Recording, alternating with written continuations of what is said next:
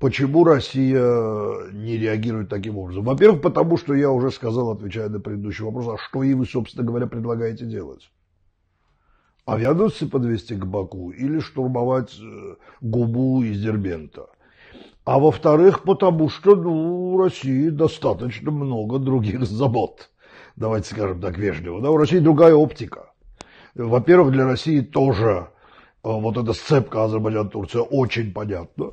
А с Турцией у них целая мозаика э, взаимоотношений, в которой и крымская проблема, и украинская проблема, и проблема газового хаба, и проблема Сирии, и проблема серых экспортов, и проблема Э, коммуникации с Европой и дальше, там, и так далее, и так далее. Этого очень много. Карабах только часть этого пазла, который гораздо более широкий, чем Карабах для русских.